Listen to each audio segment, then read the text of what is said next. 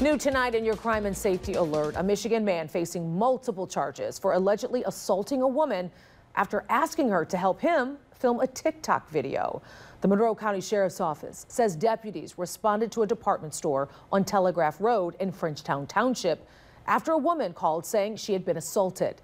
Now, she told deputies a man came up to her asking for help with a TikTok video.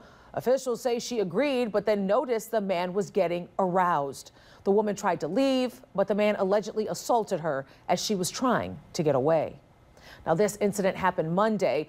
After gathering evidence, the sheriff's office identified 24 year old Avery Williams as the suspect and arrested him at his job.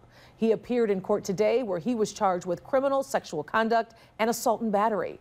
If you're aware of any similar situations, detectives are asking you to come forward and call the Monroe County Sheriff's Office.